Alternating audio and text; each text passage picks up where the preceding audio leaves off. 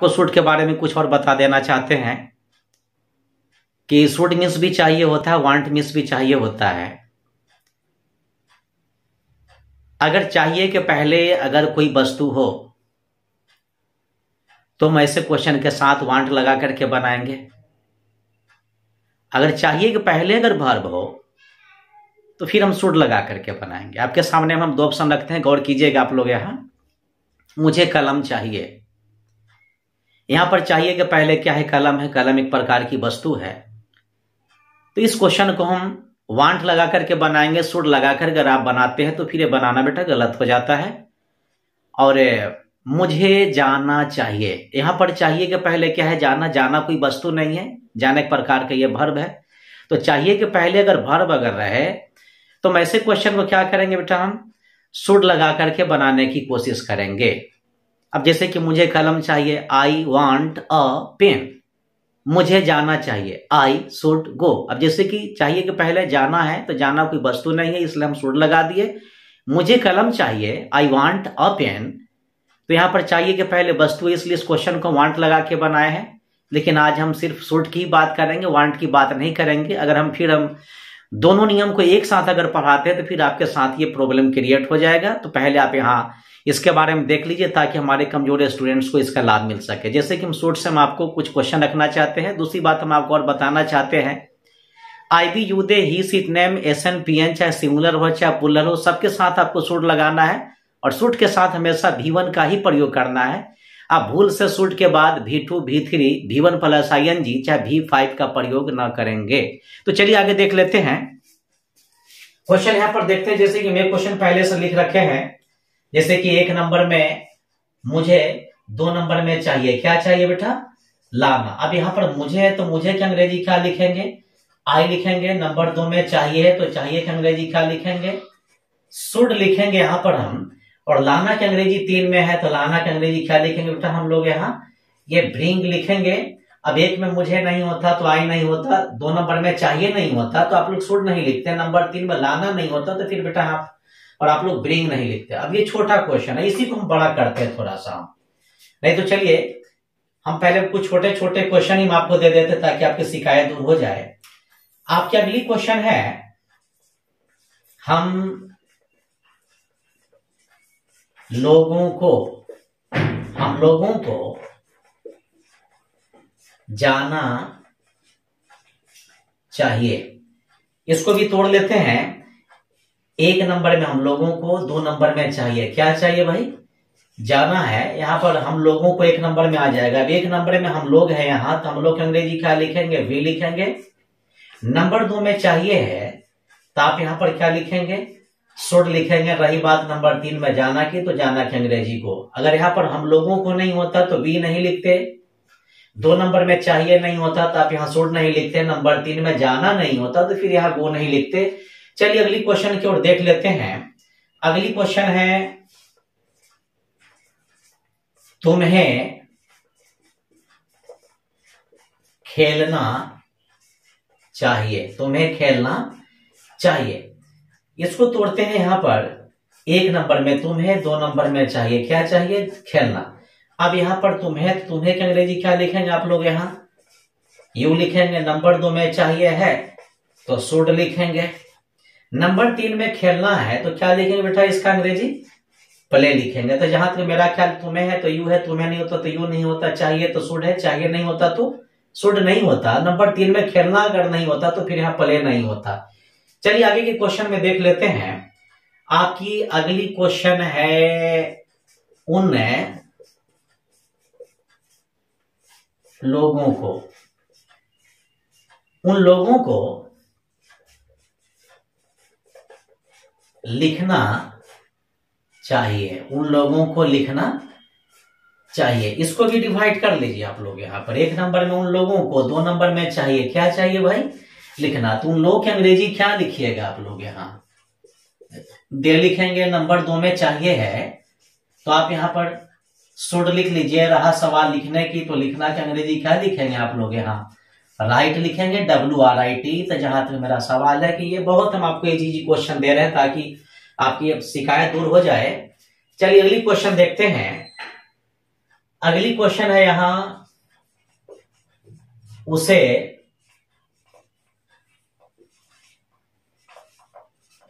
टहलना चाहिए। उसे टहलना चाहिए। एक नंबर में उसे दो में चाहिए। क्या चाहिए? टहलना। उसे तो क्या लिखेंगे आप?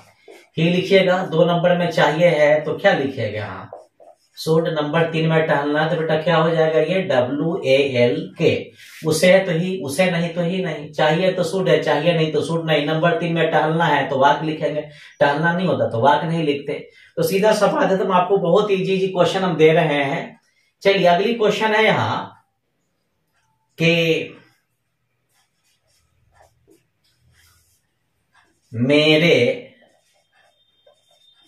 भाई को, मेरे भाई को खरीदना चाहिए। मेरे भाई को खरीदना चाहिए। एक नंबर में मेरे भाई को, दो नंबर में चाहिए। क्या चाहिए बेटा? खरीदना। तो मेरे भाई की अंग्रेज़ी क्या लिखेगा आप लोग यहाँ? माई ब्रदर दो नंबर में चाहिए है तो सुड लिख लीजिए नंबर तीन में खरीदना है तो क्या लिखेंगे? हाँ भाई तो किसी भी क्वेश्चन को आप तोड़ करके बनाइए। जैसे कि आपका कंप्लेन हुआ कि सर क्लास में पढ़ते हैं, घर जाकर के सारी बात को हम लोग भूल जाते हैं तो हम आपको यही राय मशवरा देना चाहेंगे, किसी भी क्वेश्चन को बनाने के पहले आप तोड़ करके बनाइएगा तो बड़ा सा भी बड़ा क्वेश्चन आपको बनाना हार्ड हो जाएगा। लेकिन मैं आपसे ये कहना चाहता हूँ कि जब इस वीडियो को देख ले तो सुड का जो एडवांस इसमें आप देख लीजिएगा, उसको देखना ना बोले ताकि आपका पूरा प्रॉब्लम खत्म हो जाए, संख्या खत्म हो जाए। चलिए आगे देख लेते हैं। अगली क्वेश्चन यहाँ पर हम देख लेते हैं कि तुम्हारे भाई को आना चाहिए। एकदम इजी इजी क्वेश्चन है। एक में तुम्हारे भाई को दो नंबर में चाहिए। क्या चाहिए? तो आना तुम्हारे भाई की अंग्रेज़ी क्या लिखिएगा? आप योर ब्रदर चाहिए तो क्या लिखेंगे बेटा? सुड लिख लीजिए। नंबर तीन में आना है तो क्या लिखेंगे आप लोग यहाँ? कम लिखेंगे। चलिए आगे और क्वेश्चन देख लेते हैं हम, ताकि आपको पूरा शिकायत दूर हो जाए। अगली क्वेश्चन हम देख लेते हैं। हम लोगों को अब थोड़ा सा बड़ा कर देते हैं। हम लोगों को रोटी खाना चाहिए। एक नंबर में हम लोगों को, दो नंबर में चाहिए। क्या चाहिए बेटा? खाना। क्या खाना? रोटी। अब यहाँ पर देख लीजिए आप यहाँ। एक नंबर में हम लोग है तो क्या लिखेगा? बी हो जाएगा। नंबर दो में चाहिए है तो सुड लिखेंगे, नंबर तीन में खाना है तो ईट लिख लीजिए, रहा सवाल रोटी का तो रोटी की अंग्रेज़ी क्या लिखेंगे? ब्रेड लिखेंगे। अब एक हम लोगों को दो में चाहिए, क्या चाहिए? खाना। क्या खाना? रोटी। हम लोग हो गया तो बी हो गया, हम लोग नहीं तो बी नहीं, दो में चाहिए तो सुड चाहिए नहीं तो सुड नहीं, खाना है तो ईट लिखेंगे, खाना नहीं तो ईट नहीं। रही बात यहाँ पर, रोटी की तो रोटी तो बेटा क्या लिखेंगे? ब्रेड। हाँ एक बात याद रखेगा रोटी आटा से बनता है, आटा गिरने की चीज़ नहीं है। तो वह चीज़ जिसे गिना ही नहीं जाए उसके साथ ए लगाना गलत है यानी अब्रेड नहीं लिखेंगे आप। चलिए अगली क्वेश्चन पर हम थोड़ा सा गौर कर लेते हैं। आपकी अगली क्वेश्चन यहाँ पर हम डाल देते हैं गौर कीजिएगा कि तुम्हें अं, अंग्रेज़ी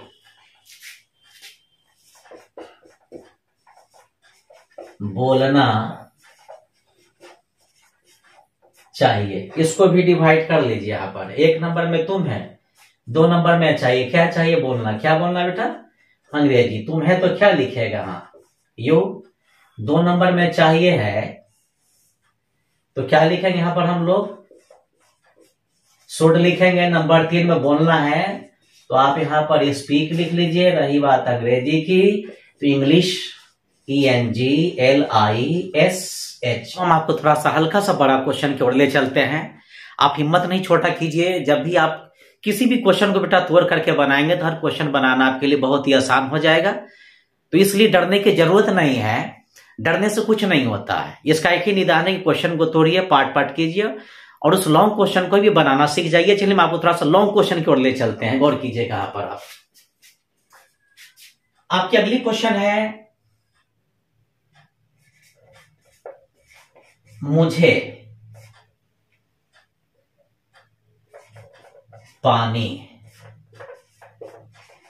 लाना चाहिए। मुझे पानी लाना? एक में मुझे, दो नंबर में चाहिए। क्या चाहिए? लाना। क्या लाना बेटा? पानी। अब यहाँ पर मुझे तो मुझे क्या अंग्रेज़ी क्या लिखेंगे? आई। दो में चाहिए है तो क्या लिखेंगे?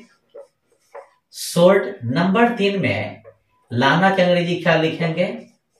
ब्रिंग पानी के अंग्रेज़ी क्या लिखेंगे आप लोग यहाँ पर? ये वाटर लिखेंगे। इससे भी थोड़ा सा और हम बड़ा क्वेश्चन करते हैं, थोड़ा सा गौर कर लीजिएगा अगली क्वेश्चन है यहाँ। मुझे पीने के लिए पानी लाना चाहिए। इसको डिवाइड कर दीजिए यहाँ पर।